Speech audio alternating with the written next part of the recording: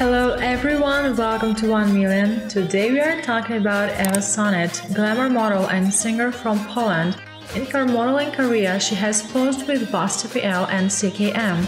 In her artistic career, she has only recorded a few albums. As usual, don't forget to subscribe and hit the like button, so let's go!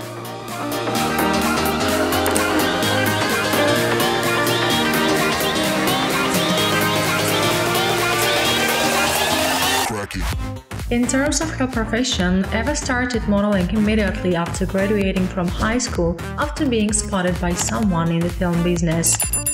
Sonnet began operating at Basta.pl. Basta has used her topless look in photos and recordings. Then she did her first magazine topless photoshoot for CKM.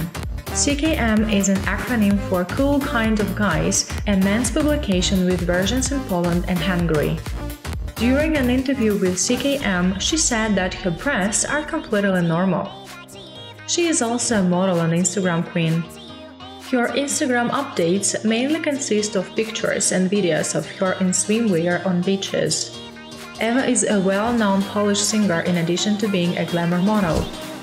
On December 11, 2005, she appeared on the Kuba Wojewódzki show to advertise her song Nielegalna. That was her first day on television. Ewa's net worth is estimated to be more than $1 million. Sources of her income are brand promotions, endorsements, and additional business ventures.